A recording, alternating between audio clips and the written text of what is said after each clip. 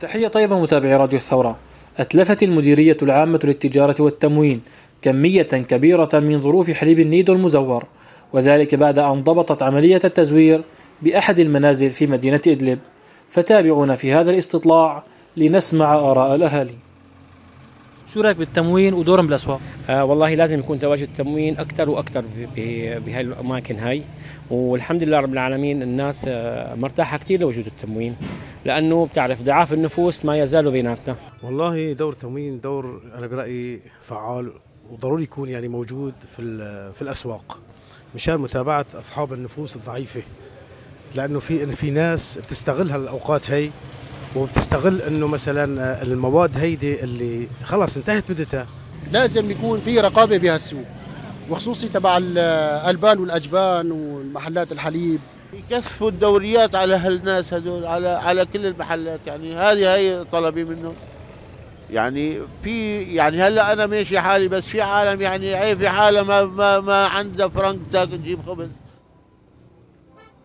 المواد مثلا غير صالحة للاستهلاك البشري أو خاصة مدتها شو لازم يعملوا فيها؟ يعني اتلاف ضروري يتم إتلافها يعني. آه هاي طبعا لازم تتلف وتوثق إتلافها وصاحبها اللي جابها يكون واقف جنبها أثناء التلف. مشان تعرفوا الناس إنه هذا الزلمة عقوبة له إنه هذا عم يجيب مواد تالفة. إذا في مجال مثلا بعض المواد اللي ممكن نستفيد منها بشغلات ثانية لا بأس. بس ولكن إذا في ضرر للإنسان إن كان طفل أو أو آه، شخص مثلا رجل امرأة كذا لا يجب اتلافها وبحضور لجان آه، مختصة. يعني هي لازم يكون مصادرة يعني لازم ما تكون موجودة بالسوق نهائيا هي يكون في رقابة عليها بشكل دايم. والله بالنسبة للمواد إذا إذا ما بتأثر مثل ما مثل ما حكيت لك إذا مواد مثل ما تأثر لل إذا انتهت مده شهر أو شهرين ما بتأثر مثل السمنة على الزيت على الكذا على المربى إذا بيوزعوها أو بيكسروا سعرها أو بنص السعر ما ما يأثر عادي لازم يعاقبون أشد العقوبات يعني.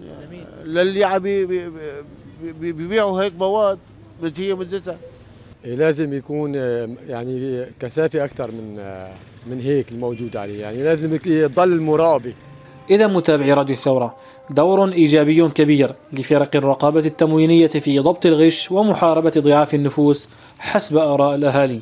وأخبار إتلاف المواد المضبوطة بالغش أو المخالفة أثنى عليه غالبية الأهالي هنا وهذا ما سمعناه منهم في هذا الاستطلاع. لراديو الثورة محمد العثمان مدينة سرمدة.